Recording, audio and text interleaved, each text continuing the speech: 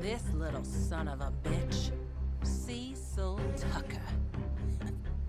His crime was cowardly, killing good folks in their sleep. And he's been a coward ever since. Running off and hiding out. But I'll tell you what, if your crimes are heinous enough, they're gonna catch up with you. Over near Fort Brennand, hoping they protect him. And most probably they will. up to a point. They fancy themselves guerrillas, this bunch. So I'd come ready for underhand tactics of some sort.